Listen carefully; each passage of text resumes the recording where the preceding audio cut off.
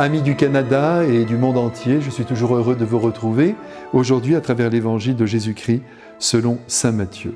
En ce temps-là, Jésus disait à ses disciples, Ne donnez pas aux chiens ce qui est sacré, ne jetez pas vos perles au pourceau, de peur qu'ils ne les piétinent, puis se retournent pour vous déchirer.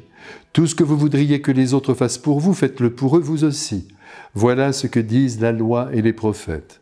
Entrez par la porte étroite, elle est grande la porte, il est large le chemin qui conduit à la perdition, et ils sont nombreux ceux qui s'y engagent. Mais elle est étroite la porte, il est resserré le chemin qui conduit à la vie, et ils sont peu nombreux ceux qui le trouvent.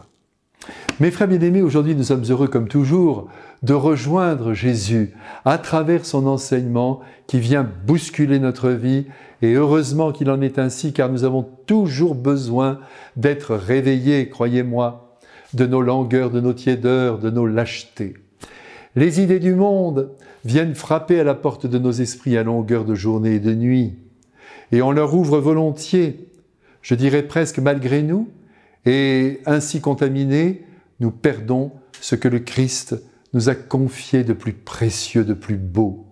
Et c'est pourquoi cet évangile, il faut le lire, il faut le relire, il faut y confronter sa vie et la réajuster tous les jours si cela était nécessaire et ça l'est toujours.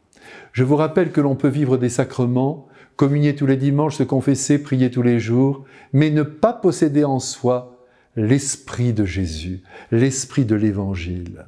De même que certaines personnes qui ne pratiquent pas, comme on dit, sont proches du Christ en raison de leurs pensées, de leurs actes, que l'Évangile ne dénoncerait pas.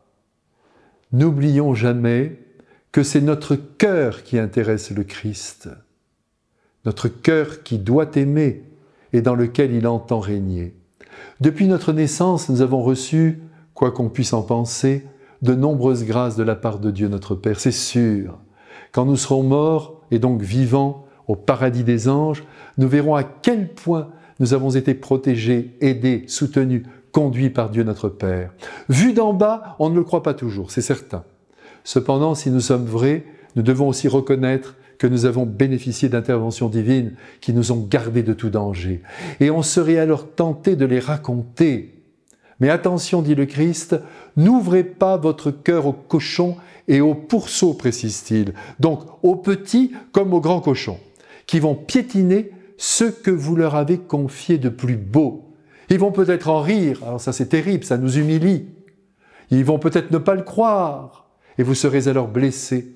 Et je ne veux pas que vous soyez humiliés, dit le Christ, à cause de moi. Ici, je voudrais citer euh, Marguerite Yourcenar. Je ne sais pas si vous la connaissez, c'est un très grand écrivain. Elle a écrit ceci que je n'ai jamais oublié. On ne doit faire une confidence à quelqu'un que dans la mesure où cela peut l'aider.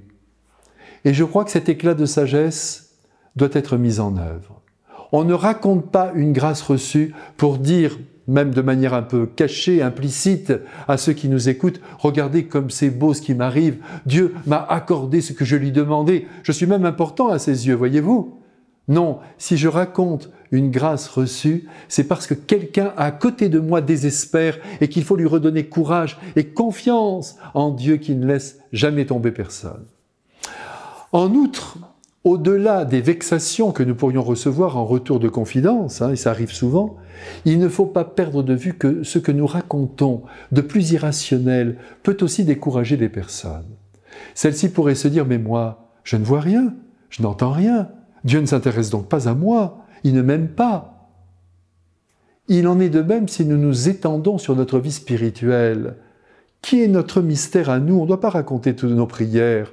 Ah bah alors quelquefois on s'étend sur les prières que nous faisons, sur les retraites que nous suivons. Attention, attention, même sur les activités ecclésiales que nous assumons. On risque par là de laisser penser à ceux qui nous écoutent qu'ils sont loin de Dieu, qu'ils ne font pas ce qu'il faut pour lui plaire. Ou encore que, vu notre programme, eh bien, ils sont comme découragés. Ils disent mais c'est pas pour moi, tout ça, ça ne m'attire pas. Et ils laissent tomber Dieu en s'éloignant encore. Or, je vous rappelle que le Christ nous a demandé seulement trois choses. La prière, chacun trouvant sa manière pour établir le contact avec les personnes divines, avec Marie, avec les saints, avec les anges. L'Eucharistie, puisque c'est Dieu lui-même qui se donne en nourriture à nos vies pour les transformer de l'intérieur. Et enfin, l'amour, la charité, la bonté à mettre en œuvre sur chaque seconde. Voyez comme c'est simple. Tout est là. Alors ne compliquons pas le chemin chrétien et gardons bien au chaud nos secrets. Eh bien maintenant, il nous reste il me reste à vous bénir, je le fais volontiers avec le Dieu caché. Au nom du Père et du Fils et du Saint-Esprit. Amen.